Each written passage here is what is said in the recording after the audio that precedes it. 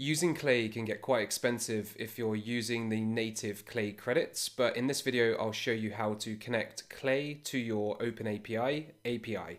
So um, when we're having a look at Clay and we're doing some enrichments here, you get the option of using the Clay shared API key. This would cost me two credits or my own OpenAI API key.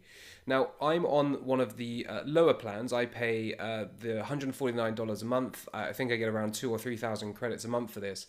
But I'm able to do a lot in Clay for the 149 plan because I'm using my own API key.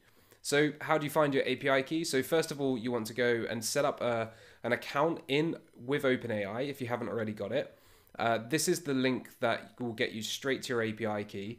Now I'm going to create an API key and delete it because I can't blur it out or I'm not using a tool to blur it out.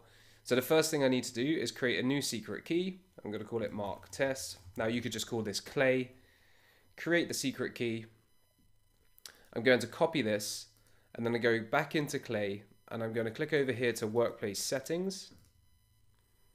Then I'm going to go on open API. So you can just search open sorry, OpenAI, or scroll down here and you'll see it eventually, OpenAI. Add API key, you can give it a name, hit the API key, click save, and now you've got your uh, Clay connected to OpenAPI.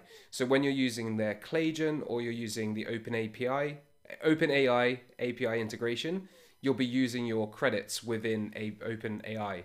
Um, I typically top up around 20 or $50 a month, uh, and that covers me for all of the AI usage that I do within Clay.